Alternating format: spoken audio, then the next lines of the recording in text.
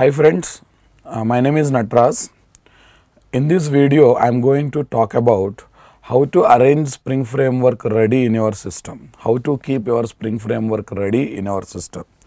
You know that Spring Framework is a fra- Spring Framework is given by Interface 21 company uh, as a Java application framework to develop different varieties of what Java and J2EE applications in framework style. When I say framework style, it says don't write common logic, just write what application specific logics so that productivity of application development will be increased. So let's try to understand basics first. Spring. So what is the type? It is Java application framework version. 5.x is there but beta version is there as of now. As on today I am talking. And 4.x is there yes. And this 4.x is compatible with uh, version 5.x beta. 4.x is compatible with JDK 1.8 that means we can use JDK 1.8 features in uh, uh, Spring 4.x version. Like uh, default methods in interfaces and uh, lambda expressions and repeated annotation. Such features can be happily enjoyed while working with Spring 4.x programming. Creator Mr. Rod Johnson and vendor, I will show his photograph in a minute. Vendor interface 21 and open source that means when you install Spring Framework, when you install Spring Framework in your system, not only you will get, uh, not only it's a free and you will get its a source code. That means you can see lot of .java file that are used to create a Spring Framework creation. And uh, next one, to download software, okay, you use spring.io website website and download it as zip file. Simply as what? Zip file. What about installation? Extracting that zip file is nothing but what so simply extracting that zip file simply nothing but what? Keeping spring framework ready in our system. Indirectly is nothing but installing spring framework in our system. Don't expect any setup file kind of thing to install spring framework. One uh, zip is there you extract it you will get your spring framework in your system working with the spring framework is all about collecting jar and adding jars to class paths and build paths and using spring api in various parts of our application code. That's it. So don't think about there will be a setup file and uh, there should be a finish button next button kind of thing to install spring framework. Fine um, but there is a small controversy. Let me address to it. Let me address it. Lots of people thinks that uh, software installation means they expect there should be a setup file kind of thing. That's wrong. Zip file extraction also comes under software installation. Uh, because for example you take spring. It comes in the form of zip file. Extracting zip file is nothing but installation. Hibernate struts all this comes in the form of what? A zip file. Extracting the zip file definitely comes under what? Spring uh, that's software installation uh, some people says ah, frameworks are not going to be installed. It's all about extracting jars and uh, collect extracting zip file collecting jar and using zip files. Uh, using what? Jar file. And they think that uh, so there is no installation for framework. So listen carefully. What i'm trying to say here is we can get software in the form of zip file and extracting zip file can be called as what? Installation of software what is the proof sir? We get eclipse in the form of what? JIP. and we, by extracting JIP, we keep our eclipse ready in our system. We get tomcat in the form of JIP or rar file. By extracting rar file we will keep our what? Tomcat server ready in our system. We get jboss wildfly and glassfish servers in the form of zips they are also softwares application server software. By extracting them into our computer we keep what? Application server softwares ready. That's why don't think that software means it should come in the form of setup file and in uh, clicking on setup file only called as what? Installation. Certain situation. Software comes in the form of binary mode. Nothing but in the form of zip and rar file. So by extracting rar files also we can say software is installed. Best example is spring hibernate struts. Another best example is come on eclipse tomcat and uh, jboss glassfish kind of servers. They come in the form of zip file. By extracting those zip file we say that those softwares are installed in our computer. Those softwares are seriously installed in our computer. Because uh, because there's a small controversy. Because frameworks cannot be installed because they don't have setup file. Only zip files are there. I am saying zip file extraction also comes under what? Software installation fine. But i said uh, i can show the photograph of mr rod johnson but let me clear one thing. Not only mr rod johnson there are top 8 people of java. Let me show their photograph because we should uh, vow everything we should vow everything to him everything to them because of those people only we are able to use java effectively as part of project development. That we are able to use java freely and we can see the source code because all these eight people top eight people of java created and released their softwares as what? Open source softwares. So if we i manage it in my own place so don't worry from where I am collecting it. So these are top 8 people of Java. So these are the 8 people. So I think uh, I can show as a preview. Yeah, he is Mr. Uh, Craig McClanahan, the creator of what Struts framework. He is Mr. Marc Fleury, the creator of JBoss. He is Mr. Kent Beck, the creator of the most popular agile methodology and JUnit tool.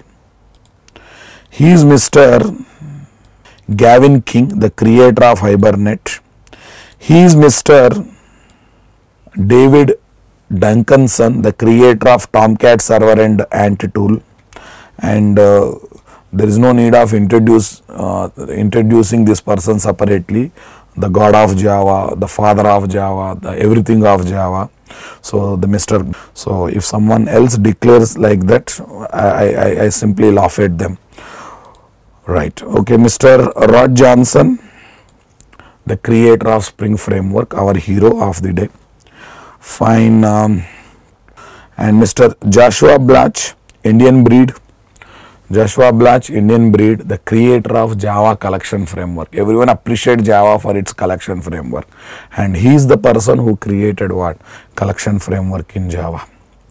So, these are the top 8 people boss. These are the top 8 people that are there in Java and I talked about these people because I want to show the photograph of what? Mr. Rod Johnson.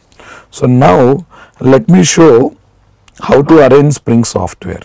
So I already downloaded one zip file. Uh, I down already downloaded one zip file to my iDrive. Yes, to my iDrive. This is the zip file I downloaded. From which website I have to download? Spring.io. Just go to that website, go for internal search or you can search through Google search engine also. So you'll get a zip file to download. I think uh, 4.3 is also there. Fine, you can download the zip file. And once you download the zip file you extract the zip file. And after extraction you will get this folder. And now I call it as spring home. This folder whatever I am highlighting here this folder is called spring home. Where java is installed where jdk is installed is called java home. Where Oracle is installed is called Oracle home. Where uh, spring is installed is called spring home. Where hibernate is installed is called what? Hibernate home. Okay that's really nice. So it gives mainly three important folders and some other uh, uh, documents. One is related to license one is related to notice kind of thing another one is readme but we just ignore these documents. I need to mainly focus on these documents. So if you look at docs folder there are two subfolders one is java doc API, another one is what? Spring Framework reference. Okay, Java Doc API is having one file called index.html. This gives Spring API documentation. What is this? Spring API documentation. How we got Java API documentation? Yes, we have a, a Spring API documentation and we can use, we can get it by getting into what? This docs folder. And uh, in the docs folder, we can also see one more thing, Spring Framework reference and there is one PDF file. Okay so, this is a reference document of Spring and here almost everything is there. If any other writes a book and he uses this uh, reference document as base document while writing the book. He uses that reference document as what?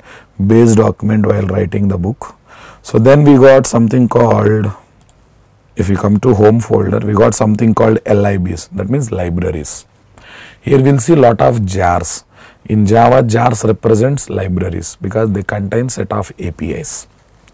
So, Spring is loosely coupled, Spring is lightweight because among the modules of Spring dependency is not saying not there less.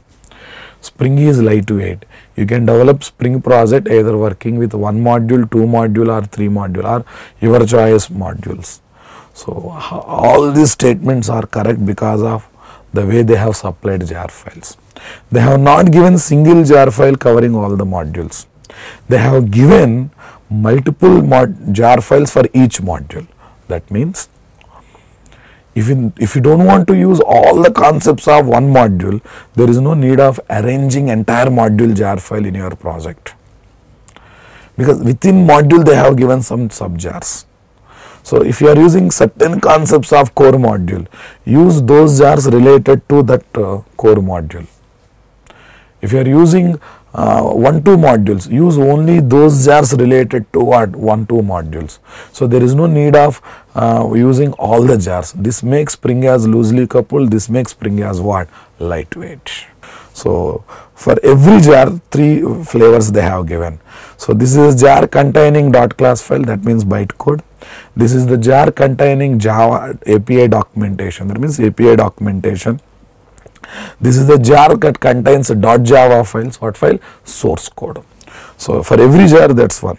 So many jars they have given and every jar is given having three flavors. So, this contains bytecode dot class file, this contains API documentation, this contains what? Source code. So, let us see what is the other folder we got. We got one more folder called schema uh, because in Spring programming we develop XML files as a bean configuration files, Spring Bean configuration files.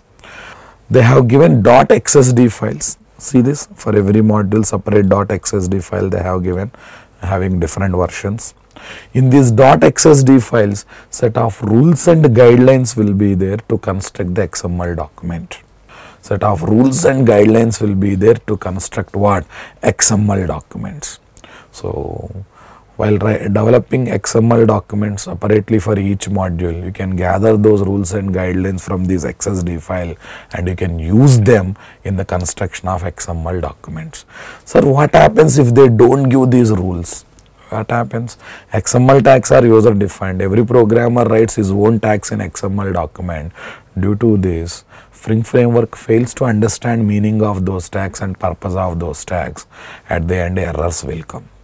So, to avoid this problem, what Spring people have done, you know, okay, they only created rules and guidelines for constructing XML document that are required in application development in the form of .xsd file. XSD means XML schema definition. That's why all these XSD files are there in a schema folder and they supply to programmers along with uh, software extraction okay along with software extraction so that while creating these XML document for Spring application, all people uses same tag, same rules and guidelines based on what this XSD file, based on these what XSD files. Due to this what happens?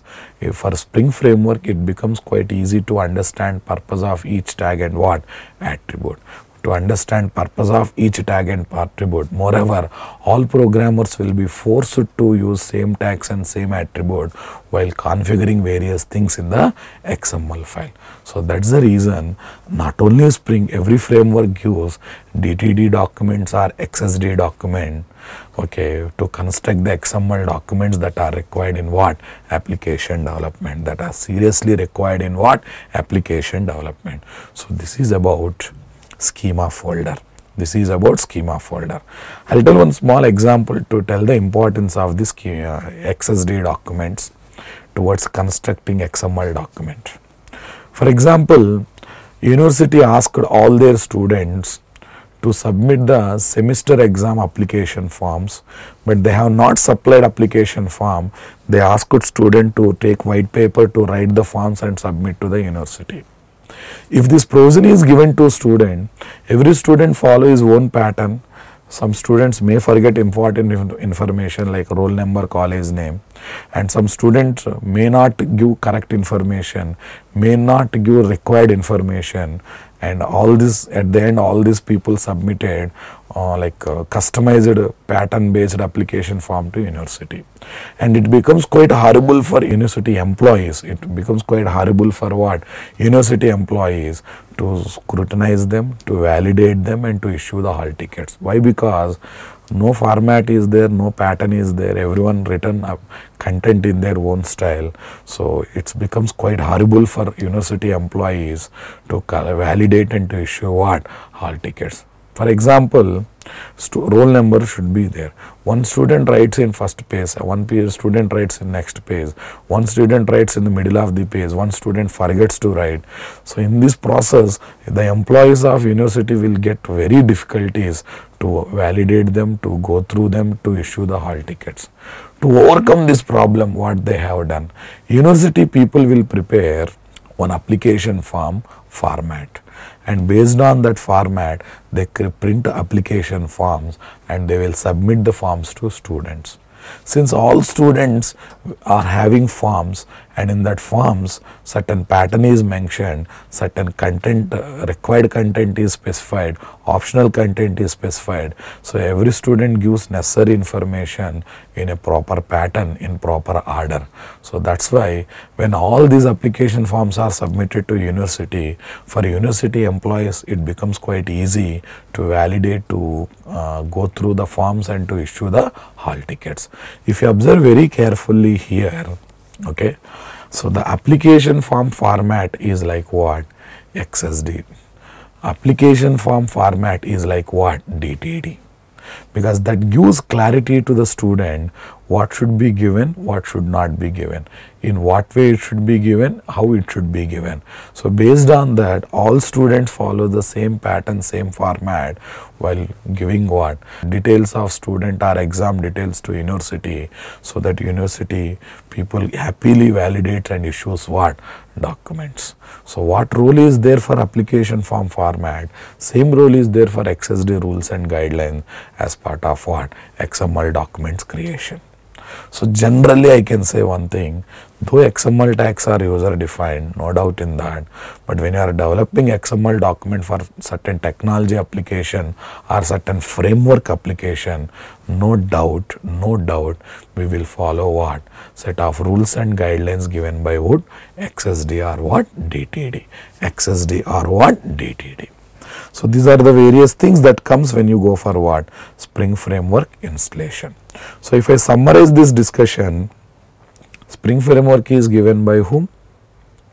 Mr. Rod Johnson, okay, as an open source framework. So it can be downloaded from spring.io. It comes in the form of zip. Extracting zip is nothing but installing Spring Framework and mainly you will get three folders in Spring Framework installation number one docs okay which contains API documentation and uh, PDF file. Libs jars representing spring libraries. Schema XSD files will be there which are building blocks providing rules and guidelines for constructing what? XML files that are required in spring application development So earlier version it used to provide DTDs, but DTDs are outdated. DTD means document type definition. So XSDs are latest. That's why recent versions are providing what XSD based rules and guidelines as building blocks to construct XML document that are required in what Spring application development. So this is about installing Spring framework in our computer. Thank you. Have a nice day.